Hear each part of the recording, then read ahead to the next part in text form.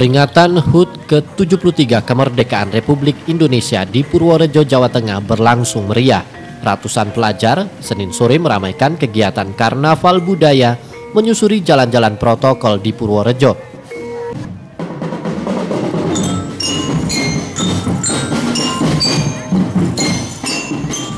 Berbagai kreasi ditampilkan para pelajar setingkat SD dan SLTP yang mengenakan ragam busana daerah. Belum lagi iring-iringan kesenian tradisional maupun defile pembawa bendera merah putih semakin menambah semarak acara yang bertujuan untuk menanamkan jiwa nasionalisme bagi kalangan generasi muda.